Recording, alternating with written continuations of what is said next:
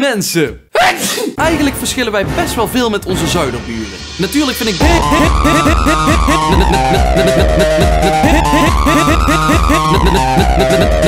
Hey, natuurlijk vind ik Belgen echt. Hey, natuurlijk vind ik Belgen echt. Hey, natuurlijk vind ik Belgen echt. Hey, natuurlijk vind ik Belgen echt. Hey, natuurlijk vind ik Belgen echt. Hey, natuurlijk vind ik Belgen echt.